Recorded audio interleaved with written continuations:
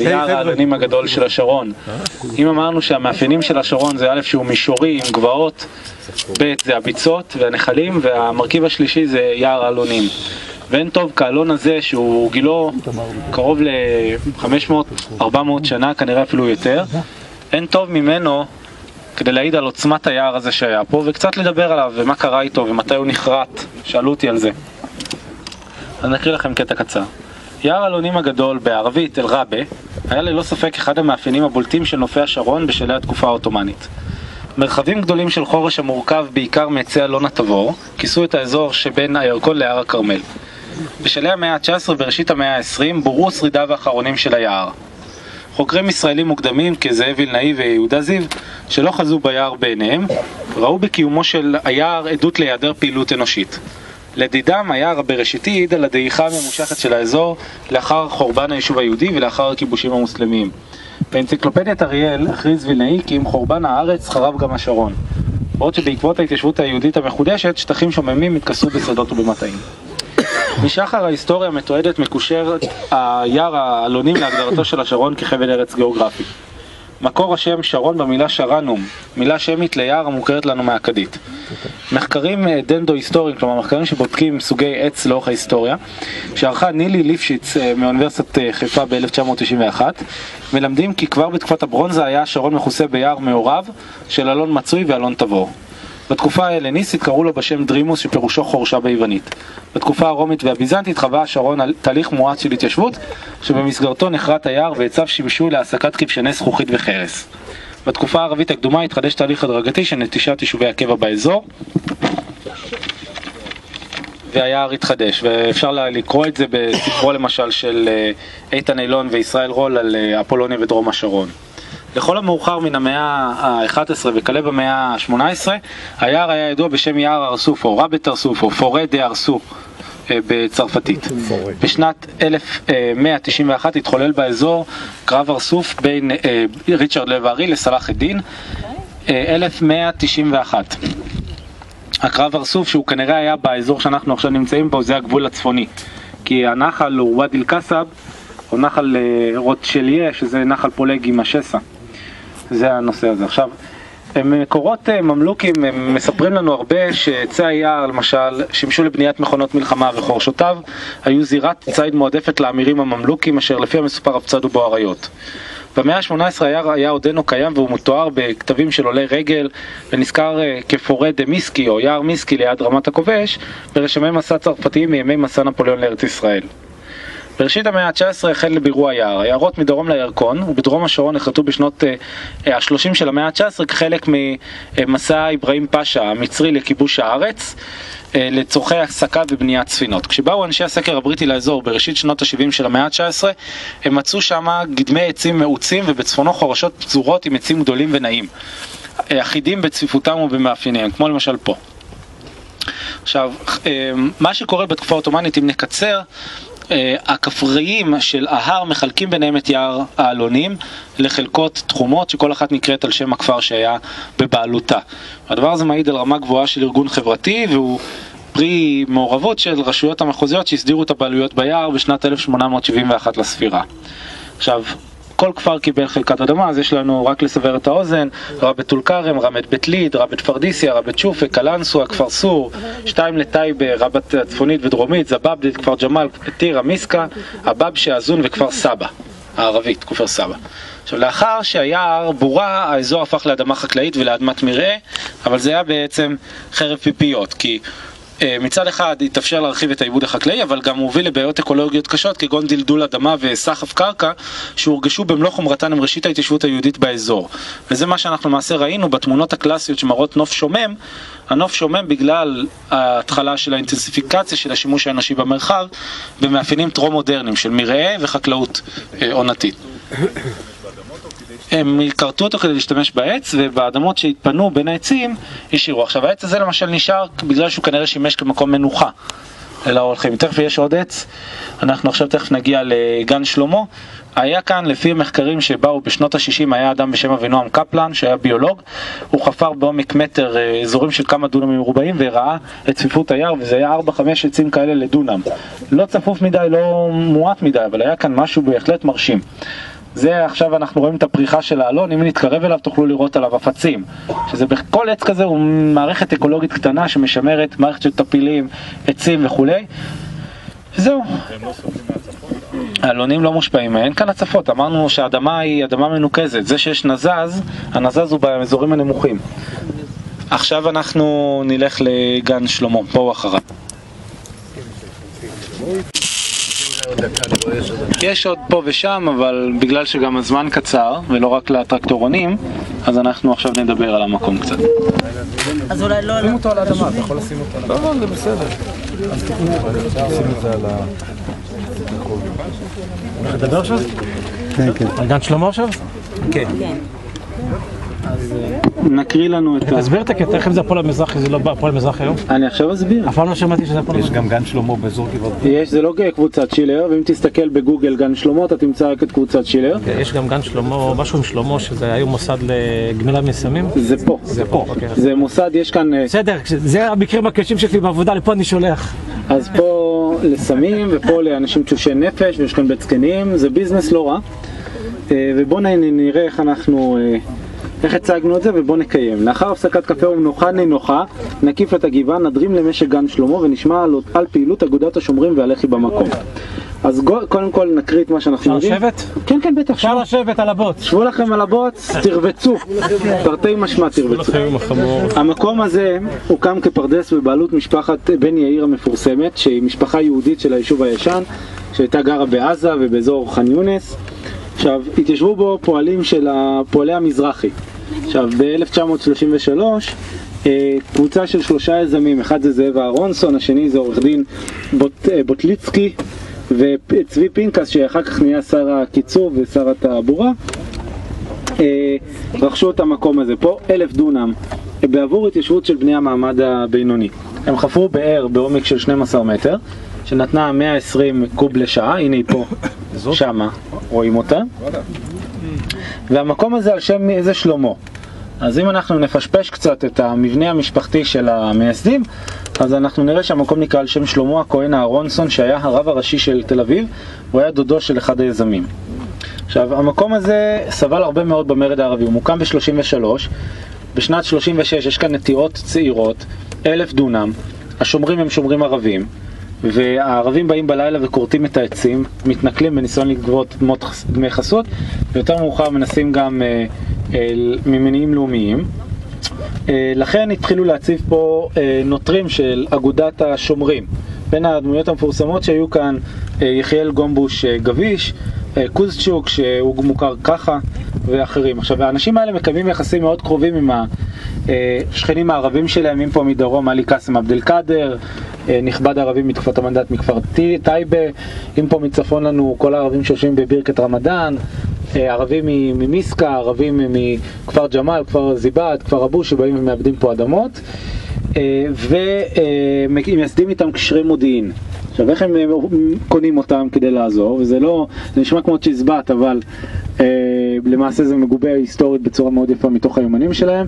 הם מדברים על סוסים אצילים ועל אקדחים גרמניים. ואין כמו אקדח גרמני, מאוזר גרמני, כדי ל- ל- ל- להפוך את ראש הכנופיה המחוזית כאן למודיע. הוא היה הולך ומוציא את אנשיו לפעולה, ובו הזמן היה נותן התראה לשומרים שיושבים פה, והם היו עובדים עם אה, עזרא דנין. עכשיו, כן. אה, סוכן כפול? הוא היה משהו משולש או מרובע או מחומש. עכשיו, אה, משפחת בן יאיר היא גם חשובה בהיסטוריה של הארץ, כי אחד משני הבנים שלה, שאלתיאל בן יאיר, התפרסם בשל ניסיון לרצוח את פנקס, צבי פנקס, שהיה אז השר התחבורה. מולדבי. כן, עכשיו...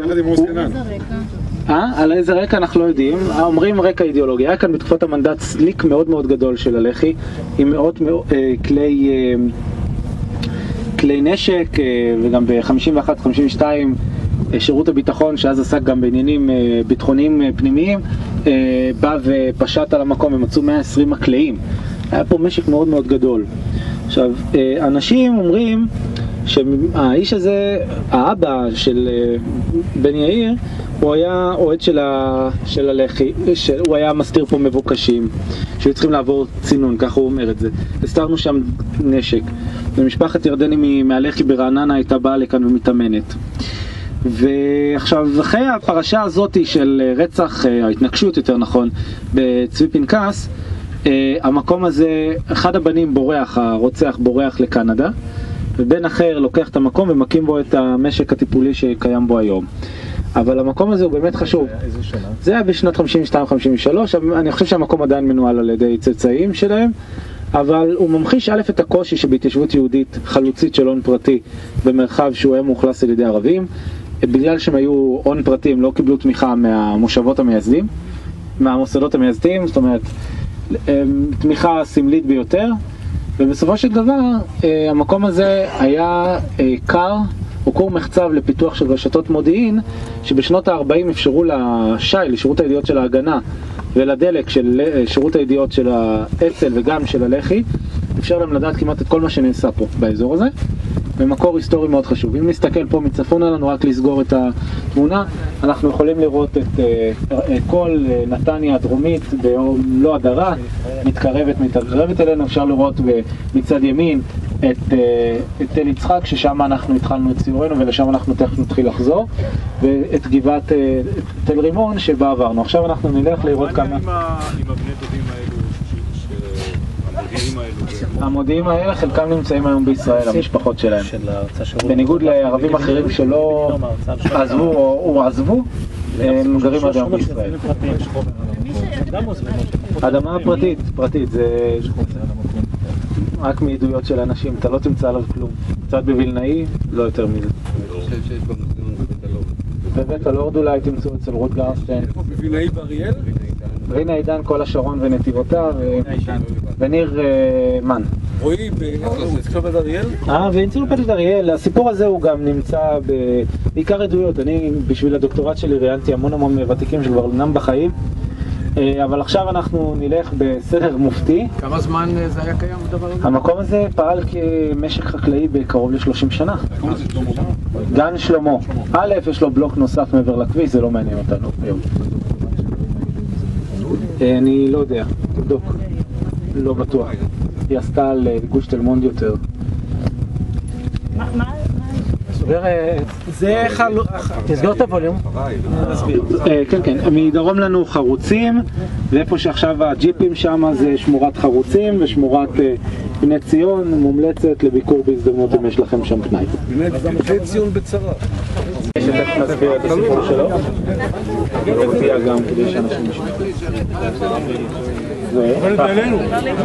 אוקיי, קצת אוריינטציה, אנחנו עכשיו בשוליים המערביות של רכס הכורכר השני, אה שלישי, סליחה, מולנו, רכס הכורכר השני, באמצע אבוס השרון שבו עוברת מסילת הברזל, רואים אותה כאן, מאחורה אפשר לראות את אזור התעשיית ההייטק של יקום ואת בתי הפרדס של נכבדים ערבים משנות ה-30 וה-40, פרדס ליטווינסקי, שזה יהודי, פרדס ג'לד ופרדס נבולסקי. אה, כן. עכשיו, זו התופעה שבה אנחנו הגענו לתחנה הזאת ולבוא לדבר מה זה בכלל בית פרדס, מדוע הוא מוקם, מדוע דווקא פה ומדוע דווקא בשנים האלה. אז נתחיל ונאמר, מה זה ביארה? ביארה באה מהמילה באר, כלומר פרדס, באר נובעת.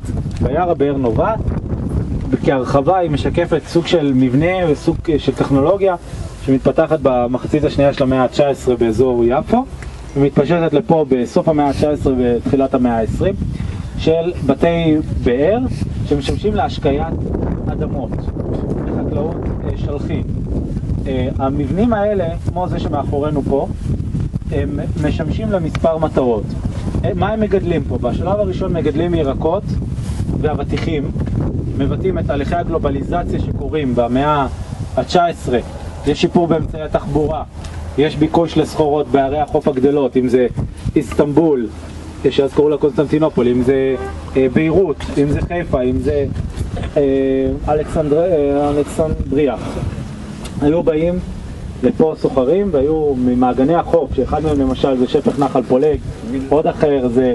אלכסנדר, מינת אל בטיח. אה, לא מינת אל-בטיח, מינת אבו זבור, זה הכי גדולה, שהייתה בעונת הקיץ יותר גדולה מנמל יפו. היו בה 900, אה, ונמל אה, אה, אה, קיסריה, וחוף אה, שפך נחל אה, ואדי אל-מפג'ר, שזה נחל חדרה, וחוף געש, וסידנא עלי, ועוד חוף תל ברוך ועוד אחרים. המעגנים האלה משמשים לייצא את התוצרת החקלאית שמגודלת כאן בעונת הקיץ. עכשיו, שימו לב שהמבנה הזה לא נבנה בראש הגבעה, אלא נמצא באמצע השיפול, כי באותה תקופה המנועים, מנועי הדיזל ששימשו להעלאת המים, או טכנולוגיה שנכנסת, לא היו חזקים מספיק כדי להעלות אותם מעומק. ובהתחלה הוא שימש להצפת האזור הנמוך כאן אה, באמצעות תעלות מים ולגדל אבטיחים, אחר כך ירקות, ובשלב יותר מאוחר גם עדרים בשנות ה-10 ושנות ה-20 של המאה ה-20. ומה כולל בית פרדס כזה? כולל את הבאר, שהיא עכשיו אה, סגורה שם, יש... אה, הנה, מישהו אמר פה שלא יודעים אם אותם דברים יישארו. למשל, אז סגרו פה את הדלת הזאת, זה ממש בחודשים האחרונים. יש בתים, מגורים לפועל שמפעיל את הבאר, שקוראים לו ביארג'י. אה, מגורים לפועלים העונתיים שמאבדים. אתה יכול לחזור לזה עוד פעם? בית באר? זה ביער, האדם שמפעיל אותה נקרא ביארג'י. אה, מי שהרבה לחקור את הדבר הזה הוא חוקר אה, מהמכללה האקדמית אשקלון שקוראים לו אבי ששון. כן, דוקטור אבי ששון, שהוא באירולוג. הוא באירולוג, הוא מתמחה במתקני מים. עכשיו, שימו לב, יפה, סבילים, מתקני מים, רהטים. עכשיו, רק כדי לסגור את ההסבר, אז יש את המגורים של אחראי הבאר, מנהל העבודה, ובריכת המים הגדולה הזאת, שהיא מאוד דומה למה שראינו בסיור לקסטינה, לא לאזור באר טוביה, הבאר של אדמות שקנו קסטינה, אותה באר בנויה מאבן, יש בה מדרגות להקלת הלחץ. יש כזה, יש ליד שוק הפשפשים יש כזה. ליד שוק הפשפשים יש כזה משוחזר, יש בתל אביב 50 ביארות שעוד בין ביערות. המבנים. עכשיו, יש שם תעלות אה, בטון, אה, יש שם צינור בטון שממנו המים היו מוזרמים ומשקים את השטח. זה מבנה ספציפית שנבנה בסביבות 1915, עוד לפני מלחמת העולם הראשונה, ובמפות מלחמת העולם הראשונה אנחנו רואים אותו.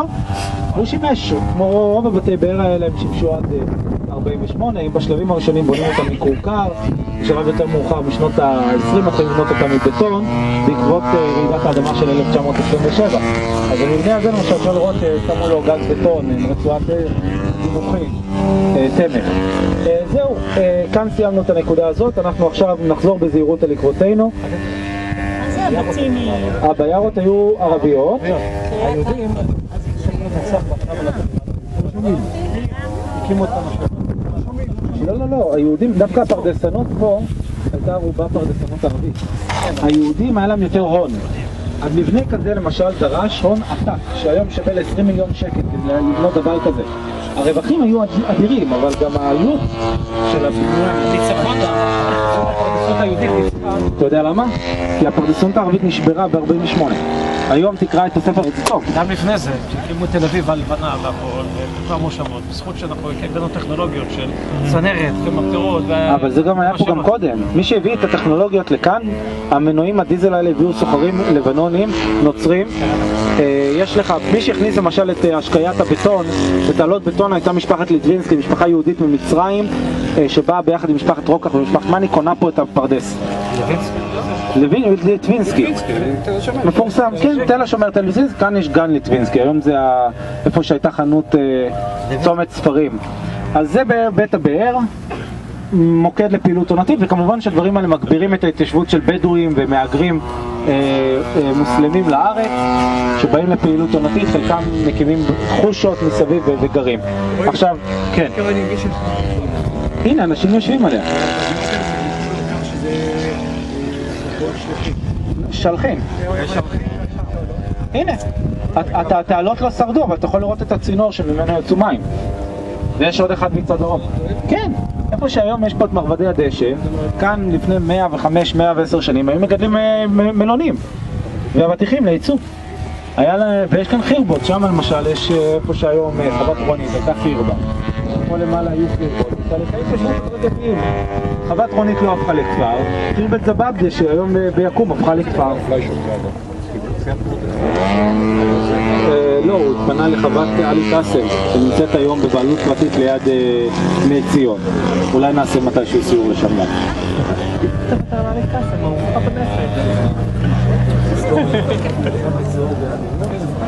מה הדרגה שלך? קוראת בין זה שאני קוראת את זה, מוסיפים שהיו שכנות האלה, כי באמת זה שלא כל תבוא,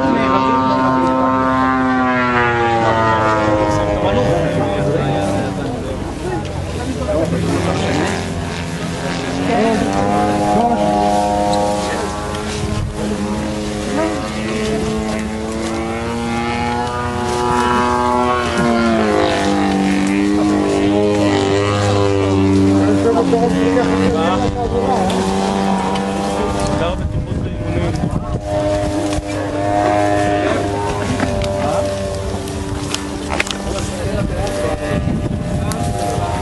Agora, você vê que a ambos.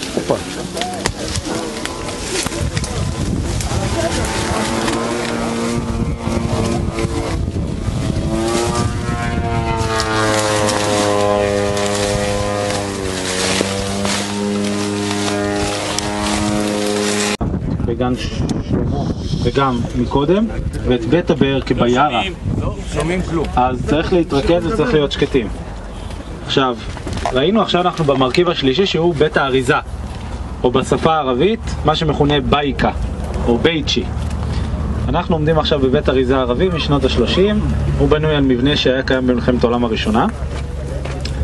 אה, הוא מעניין מכמה סיבות. א', מלמד אותנו איך בנוי המבנה הזה. אין חשמל, אין מים זורמים, יש לו מחסן שמשמש לציוד חקלאי וחדר גדול שבו מתקיימת האריזה.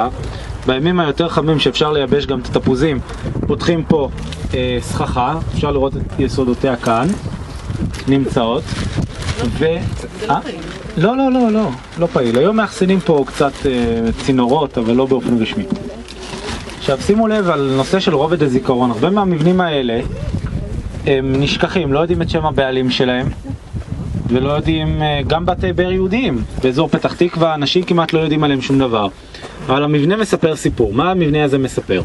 קודם כל תסתכלו מעל השער יש כתובת בערבית של בית משהו ואי אפשר לקרוא אותה, היא לא, לא קריאה אבל המקום היחידי אני חושב בשרון שיש בו כתובת מצהירה. על הקירות יש סימונים של מנווטים מצה"ל ושל סיירות ושל אנשים שעברו פה לאורך השנים. אה, והסימונים האלה כל שנה שאני מגיע לכאן הם דוהים יותר ויותר.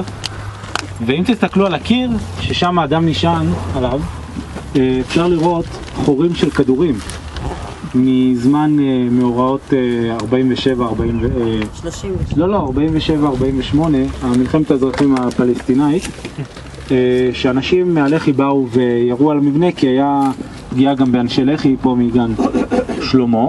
לא, ללא נפגעים בנפש, אבל זה מנקד, הטיח מראה את הסימנים האלה עליהם בצורה ברורה. עכשיו עוד תופעה מעניינת, עכשיו שהגענו למקום מצאנו כאן מטבע ישראלי של 10 אגורות משנת 1980. כמוהו מצאנו כאן 60. עשר אגורות של הלירה. של ה... לא, לא, של השקל הראשון. עכשיו, זה עוד לא היה לירה, 1980. שקל. עכשיו, עכשיו למה זה מעניין? כי ארכיאולוגים שבאים ועושים מחקר ארכיאולוגי מסתמכים הרבה מאוד על נומיסמטיקה כדי לתארך מבנים ולבדוק את תקופת השימוש בהם. המבנה הזה הוא מבנה מנדטורי, הוא מבנה אפילו עות'מאני עם שיקום מנדטורי ועל אף פי כן לא מצאנו כאן ולו מטבע מנדטורי אחד ולא מטבע עות'מאני אחד. כל המטבעות מתקופת ישראל, בתקופה שהמבנה הזה אולי יהיה מקום חנייה אה, לפועלים בשדה. אז ככה להראות שגם ממצא ארכיאולוגי לא בהכרח מתארך נכון. אז זה מה שיש למבנה הזה לספר לנו, ומכאן אנחנו נתחיל את חזרתנו לכיוון תל יצחק.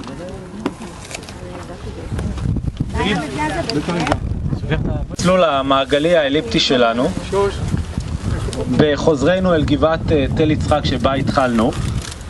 ובואו נדבר קצת על הקיבוץ ונדבר קצת על המקום שבו אנחנו נמצאים. אז הקיבוץ, קיבוץ תל יצחק, הוקם כיישוב חומה ומגדל ב-1938 ביולי על ידי עולים מגליציה שהשתייכו לתנועת אה, הנוער הציוני ב' של, התנועת, של ברית הציונים הכלליים. אותה תנועה שגם הצמיחה את אה, בני אה, בנימין ותנועות אחרות. פה הם הולכים לכיוון הקולקטיבי. הם התיישבו כאן אחרי סכסוך שפרץ בקיבוץ הושע שליד שפרעם בעמק זבולון. והוא נקרא אושה, והוא נקרא על שם יצחק שטייגנר, שטייגר, ממנהיגי תנועת הנוער הציוני בגליציה. עכשיו, כשהם עלו על הגבעה הזאת, היא הייתה גבעה חשופה, והתושבים פה בשנים הראשונות סבלו מאוד מהמלאריה הזאת, הייתה בדיוק התקופה שבה השלימו את אה, ייבוש ביצות הפולג.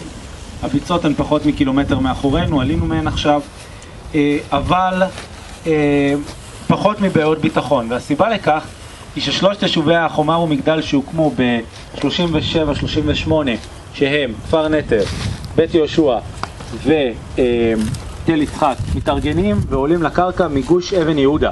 יש להם אורש יישובי חזק שכולל אבן יהודה, כולל את כפר צור, כולל את באר גנים א' וב', כולל את תל צור, כולל את קדימה, כולל את יישובי תל מונד אה, למיניהם. איפה זה תל צור היום? תל צור היום זה שכונה באבן יהודה.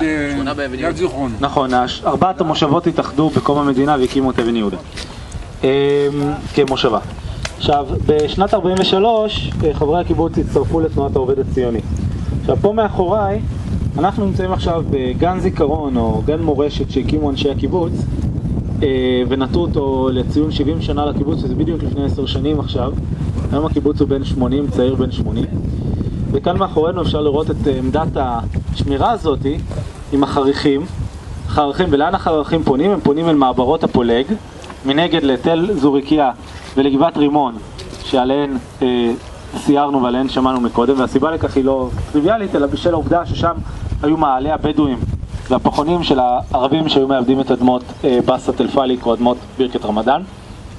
עכשיו, אה, יחסית המאורעות עברו פה אה, ללא אה, קורבנות רבים, אבל אה, ב-5 בנובמבר 1938 נרצחה פה אה, הדסה הושוולד, שהייתה חברת קיבוץ בגיל 19, בזמן שהביאה אה, מזון לשומרים בעמדה הזאת. וזאת הייתה מכה קשה וזה הקורבן היחידי בנפש של אנשי הקיבוץ. וכעבור עשר שנים, כאשר אה, החליטו להקים כפר נוער על אדמות הקיבוץ ועל אדמות אה, של המינהל, אדמות נפקדים, אז קראו לנווה הדסה על שמה. אה, היא הייתה ילידת לבוב, היא עלתה לארץ ב-34 עם בני משפחתה ופנתה ל- לעשייה חלוצית. עכשיו, המקום הזה מתייחד, יש שם מישהו יושב על מקלט. אז זה לא מקלט, זאת הכניסה. אחת הכניסות למפעל במפנה של התעשייה הצבאית. הקרקע כאן הייתה גבוהה בחמש מטר מעל פני הקרקע כיום, והיו כאן הלולים של הקיבוץ, ומתחת ללולים היה מפעל של התעשייה הצבאית של ההגנה. המפעל הזה הוקם ב-1946 לערך, ומה ייצרו בו? אז הרבה שנים לא ידעו, ואז כשהתחילו לברר גילו שיעשו פה את היזמים ואת הפיקות אה, לחומר נפץ, אה, למרגמות ולבני חבלה. עכשיו, אה, כל המתחם הזה היה ממוקם בתוך חורשת אוקליפטוס מאוד צפופה, שחלק ממנה נמצא כאן צפונה לנו. אה, עכשיו, את התחמושת, לפי העדויות של ותיקי הקיבוץ, היו מבריחים בארגזים מתחת למשטחי הביצים, מעולם לא תפסו אותם. על מגדל המים שעמד פה בסמיכות, אפשר לראות כאן שחזור של מה שאמור להיות כאילו מגדל המים, ולפני כן המגדל של חומה ומגדל, היה צופה שהשגיח נגד הבריטים, וכל פעם שבאו הכלניות עם הסוסים הענקיים שלהם שהיו מפחידים אותם כילדים, אה, הפועלים במפעל היו פושטים את בגדי העבודה שלהם ומעמידים אה, פועלים שהם פועלים בלול. עכשיו, ייצרו פה גם נשק קל. אה, המפעל הזה נסגר רק בשנות, בשנת 49 אחרי קום המדינה. וזהו, אה, נסגור את הטיול שלנו, אנחנו טיילנו היום, אה, עשינו 11 קילומטר, אה, סיירנו, שמענו על 3,000 שנה של התיישבות מהתקופה הכנענית, דרך התקופה הפרסית, תקופת המשנה, סיפור האינטראקציה בין האדם לבין הביצות ויערות העלונים, לאחר מכן אה, מלחמת העולם הראשונה, ההתיישבות היהודית וההתיישבות העברית החדשה שהבריחה פה את האזור. תודה רבה לכל העמיתים שבאו מקרוב, תודה רבה לעמיתים שבאו מרחוק, תודה רבה לעמית שנתן את כל הגב הלוגיסטי הנהדר ולימד אותי להכין מפות לווייז, למדתי כישורי חיים, ותודה רבה רבה, ומה זה קובץ KML מהו? אה, ונתראה. תודה רבה לרועי. רועי, היית מקסים, באמת. משואה הוא אתר הנצחה ל- לשואה. הוא נמצא בצידו הצפוני מערבי של הקיבוץ. הוא הוקם בקיבוץ בגלל שזה שייך לתנועה המיישבת. יש שם מוסד מחקר לשואה אה, עם קצת תערוכות, מאוד מעניין, שווה ביקור, אבל הוא לא פתוח ימי שישי. אה, כדאי, כדאי ללכת אליו, מרבים ללכת אליו בדרך כלל בבתי ספר. זה עדיין קיבוץ? אה, קיבוץ בתהליכי הפרטה. טוב, אה, רועי, תאמר לי משהו. כן. השם הזה, אה, פאולג, זה לא בלשון לפלג את... שם פולג, מילה אחת קצרה על זה, הוא שם, הוא עברות. לא פאליק. את ה... השם פאליק או שם פולג משמעותו לפלג זה אותו שורש. השם הזה מתועד רק במאות השנים האחרונות. הוא עברות של השם הערבי פאליק, שמשמעו הסלע החתוך של תל פולג. שמאפשר את הזרימה כן. החפיר זה בעצם חפיר כנעני שבתקופה הרומית-ביזנטית, מתישהו הועמק והורחב, ואפשר ניקוז חלקי למי הביצה. והניקוז אפשר עיבוד בשולי הביצה. אתה יכול לחזור למה קוראים לאזור השרון שרון? אמרת זה על שם... השרון מילולית מילה שמית קדומה, שרנו, שפירושה יער, האה הארוך במעתק הכנעני הופך לאו ארוך, וזה שרון. עכשיו, לערבים אין אה, מילה לאזור הזה, לבני תרבויות אחרות גם לא הייתה מילה, זה תמיד עיבוד של המילה יער, אל-רבה בערבית, דורימוס בהלניסטית, אה, וכן הלאה וכן הלאה. תודה רבה. שלא הגיעו.